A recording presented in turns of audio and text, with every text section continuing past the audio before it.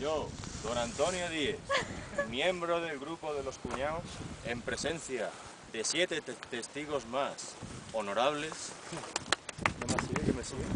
Eh, Te nombro caballero. te nombro caballero de los 3000. ¿De la, ¿Cómo era? Sí, sí, caballero. Caballero de Marburé. Pues nada, ¿ya qué tiene que hacer él? ¿Tiene que pisarme los pies o algo? o no? Sí. Bueno,